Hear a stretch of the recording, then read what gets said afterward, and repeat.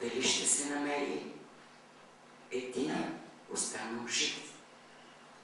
След страшната разруха от пламнал небосвод ще бъде пустош глуха без искрица живот.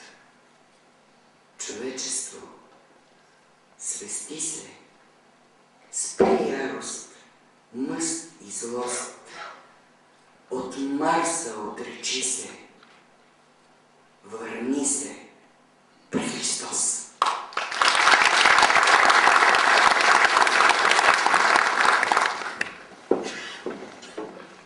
Родон Сур. Веднъж ми са ви казвали, другари, че бил съм шигобиец, веселяк, че и когато черна скръп опали сърцето ми, усмихвал съм се пак. Да, весел съм, обичам да се смея, да се шигувам, да съм вечно млад. Без радостта не мога да живея.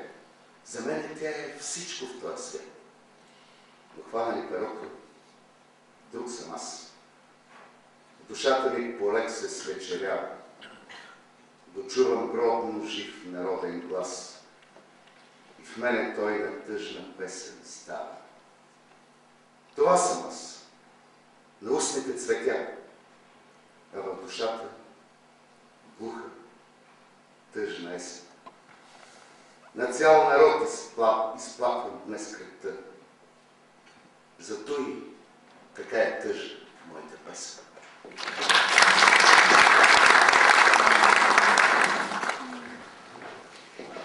Синовен зов.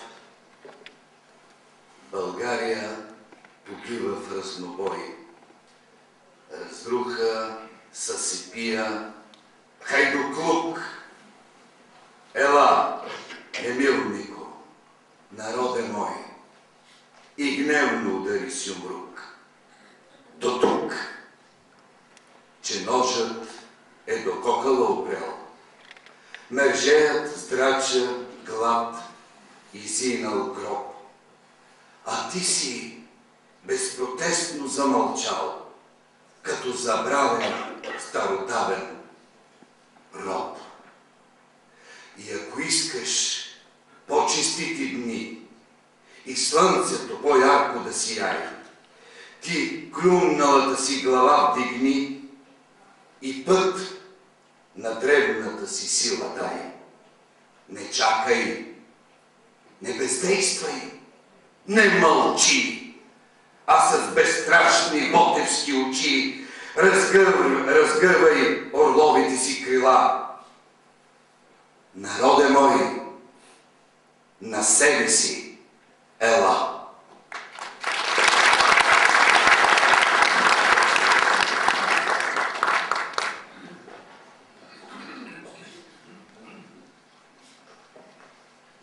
Ставаме народ.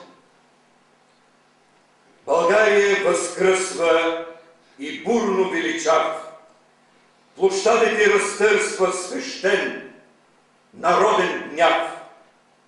Безхлебен, безработен, измамен, изигран, безпътен, безпилотен, ограбен и обран. Подвластният се вдигна и в паметната нощ, като вулкан изригна хилядогласна мощ. А бе нощта зловеща, но пълна с красота, че кипна кръв гореща човешките сърца. Съдбата ни повика с неукротим протест да браним в бран велика достоинство, име, чест. С грамодното си слово за нов, честит живот се раждаме отново и ставаме народ.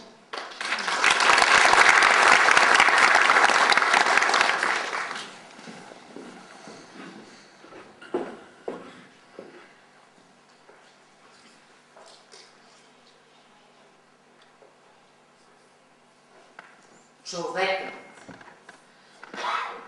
Неразгадано същество, човешка реч от как изрече. Злодей ли или божество?